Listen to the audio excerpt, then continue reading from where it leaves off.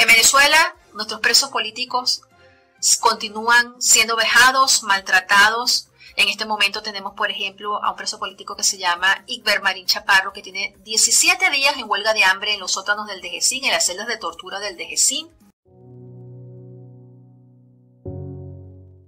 Yo estoy convencida que en Venezuela habrá justicia y por eso especialmente quiero dirigirme a los presos políticos y a cada una de sus familias, para que sepan que no están solos, que para los venezolanos su sacrificio, su testimonio diario de lucha es la gran inspiración a seguir cada día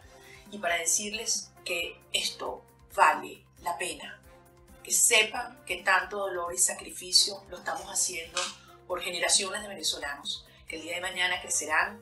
y vivirán en una nación libre, próspera y justa, gracias a la contribución que ustedes, sus padres, sus abuelos, sus hermanos están haciendo en esta hora.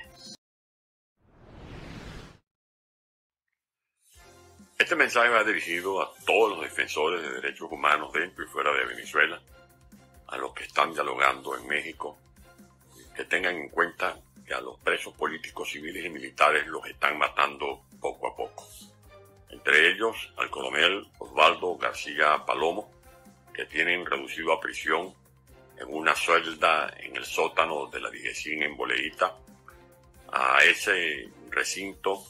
eh, penetra el gas de monóxido de carbono porque tienen un camión encendido permanentemente para disparar esos gases contaminantes y así afectar eh, la poca vida que le queda a estos presos políticos. En la reducida celda al coronel García Palomo le colocaron una colchoneta empapada de orina,